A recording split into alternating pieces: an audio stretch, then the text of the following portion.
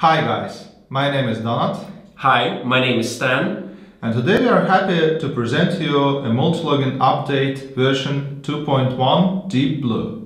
Now, for those of you that have been living under the rock, we have already released 1.49, 2.0, and today 2, 2.1. So, if those of you that are not aware that we already have this awesome Deep Blue version out, I highly suggest that you first download the latest version and watch our two very important videos on local storage and uh, and the and the deep deep blue interface itself these links will be available down the video below. But today let's specifically talk about 2.1 updates. The updates and things that we've done in 2.0 and 1.4.1 still remain in this 2.1 version. However it's vital that you learn about these features in the other videos. But today let's talk about 2.1 a very awesome update uh, a lot of new awesome and exciting features a lot of a lot of crucial bugs fixed and few of very nice usability things as well. So up to you, Donat.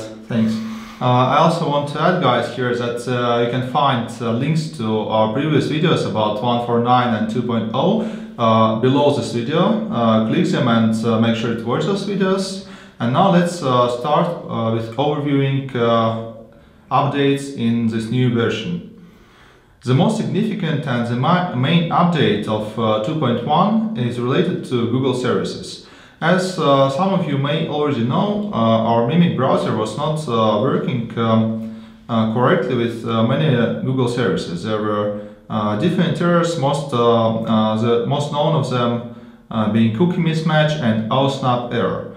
The good news is that we have fixed these errors as well as numerous other bugs related to Google services and Mimic.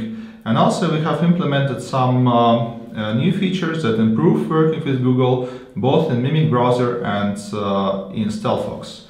Uh, one of those uh, features is um, um, is uh, local storage and another is uh, IndexedDB, which uh, are united under a single option in our new interface. Uh, you may, if uh, you work with Google, make sure to enable these options that you see on your screen as uh, according to our information, Google, uh, many of Google services utilize uh, both local storage and IndexedDB for browser fingerprinting.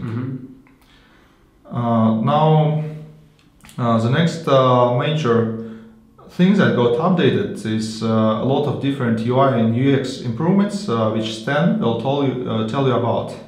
So one of the uh, uh, most crucial and important uh, user experience updates we've implemented is that we completely redesigned the language uh, the language section. Whenever you go to navigator uh, section of the of creating a browser profile and click edit on languages, now you you will not have one specific list of uh, languages that you need to drag and drop and wait till the scroll goes up for like one minute. Now it's done very simply. So for example, you see the uh, interface right here. For example, if I would like to add Russian language, I just type Russian in the search languages bar. I find the Russian language that I want and then I drag and drop. Oh, that wasn't so difficult. so, and this will, we really hope that this will help you in your work and productivity wise as well. And after done, after that, you can, uh, in the selected languages uh, field, you can drag and drop to select the, the, um, the importance of that language. So if you want Russian up, then you put it up, and if you want it down, you put it down, and then save. You are also able to manually edit these uh, language preferences by just editing. So for example, if you, you would like to change, we would put English here, and it will automatically adjust. Cool. Uh, the second one is that we've added the, uh, uh, the sorting of browser profiles by by date. So in here you can you first of all you see the uh, the date when the browser profile was created and you're you're also able to sort them by this uh, column right here. Also now multi-login uh, an additional UI update that we've implemented is the saving state. Now, when you save the state, uh, when you, for example, search for Chromium profiles like like this, so these are only Chromium profiles, uh, and you would like to leave this view. When you go to, for example, my account, help and support, and return back, the state will remain like this. This is also a small usability update that we've implemented, and we hope this will improve your productivity.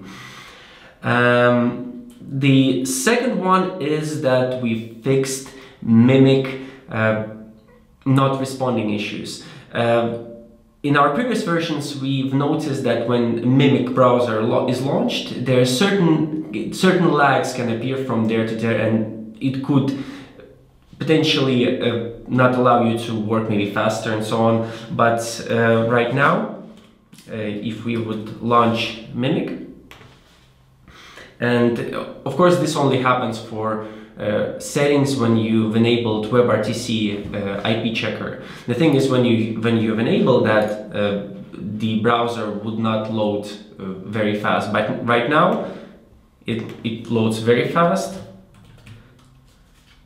So we'll go right here. loads fine, no major performance issues. So it switches between tabs fast enough so all good and fast. And we close it like this.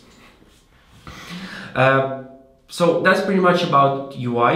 I do want to point out one thing about usability itself is that in 2.1 and in 2.0 operating systems are not yet ready. And a lot of you guys ask why when you choose Windows here, you still get a different uh, user agent. So for example, let me choose Mac OS and as you can see still you get a Windows user agent and the reason behind it is that operating systems are not yet ready so this will be ready in 2.2 but right now it's not yet ready so for now just use it as it was before and I would like to point out that uh, this does not affect uh, your privacy, does not affect uh, mm -hmm. this anti-browser fingerprinting capabilities. Uh, this filter is only made for those who would like later uh, select and work uh, under like certain specific uh, operation systems. So for example, if you know that uh, uh, maybe some website doesn't like uh, uh, doesn't like uh, users visitors who use Linux, you may specifically set your browser profiles to use Mac OS or Windows and so on. So this filter is made primarily to uh, for those who want to narrow down uh, browser fingerprints to specific operating system and this is not a browser uh, fingerprint itself like it's uh, mm -hmm. not a part of your browser fingerprint so the fact that right now this um, operation system is uh, does not correspond to user agent and platform value it doesn't uh, affect anything yeah so it should not affect your masking capabilities at all. It's just a filter that will soon work. Okay, and there's uh, that's pretty much it about UI. And there is one also very important update related to uh, time zones and uh, database and MaxMind database. And I think Donat sh should explain. Uh, yes, uh, so the thing was uh, that after switching to DST time, aka summer time, uh, we have started experiencing, our users start experiencing problems with uh, time zone being off to one hour from their actual one. And this um, problem appeared in many cities across the world. Uh, so we started researching uh, what was the problem and it was uh, basically a complex, a complex problem both in our algorithms and with that our database we use MaxMind for uh, IP uh, address to geolocation. Uh, it was basically um, uh, an old version of this MaxMind. Mm -hmm. So we went ahead and updated our MaxMind da database and also improved our algorithm. So now uh, all problems with time zone must be solved. If you still uh, notice any problems, please report back. But we have tested this extensively for mm -hmm. weeks, so we believe that now all problems must be actually fixed. Uh, so, which uh, will certainly improve uh, your working with different websites that uh, uh, track time zone and, and compare it uh, against their, their IP2Geo databases. Another thing I'd like to mention in this update is that uh, starting from version uh, 2.0, we now have uh, an ability to migrate your old Chromium and Firefox profiles uh, to our custom Stealthfox and uh, Mimic browsers. Uh, this can be done uh, both manually, one by one, uh, through this uh, migrate to Mimic or migrate to Stealthfox uh, menu item, or it can be uh, done in bulk. And let's uh, see how it works.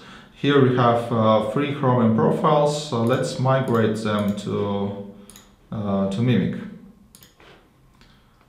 One click, and all profiles have been migrated.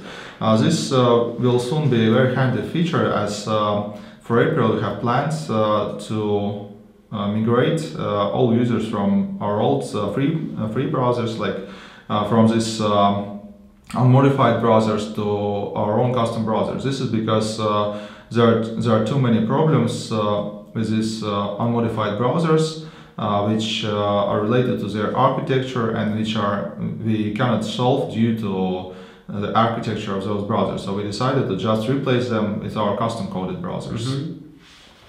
So yeah, it's actually a very good idea if you do plan to upgrade to our premium plan. So it's a very nice feature that you can use your old Chromium profiles, quickly transform to Mimic ones, and thus uh, kind of creating a better protection for your accounts. So this is highly advised.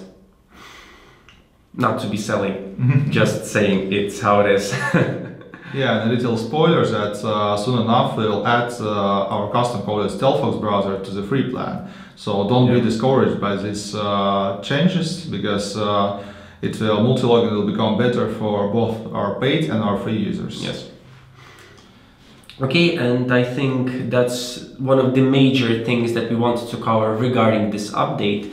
However, if you're interested, there are still there are some other very important things that we've implemented in 2.1, and you can read more information about it in our release notes. Uh, the link will be also below this video and on screen right now. We welcome that you go to multiloginapp.com slash release notes and learn more about uh, what has been released in 2.1. So you can see that changes and fixes in multilogin 2.1 Deep Blue, all things that we've changed are available here as a list. Also, guys, um, if you don't understand uh, like uh, the changes from release notes, I highly encourage you to subscribe to our Telegram channels. We have uh, Telegram channels both in Russian and English language, and uh, we would uh, we post usually there an explanation of the most important uh, updates, the most important features, and also our plans for future updates. So if you want to get some additional information, uh, please uh, click the links below this video, subscribe to our Telegram channels, and get the most recent information from there. Thanks for watching. Thanks for watching and goodbye. Bye bye. Signature high five.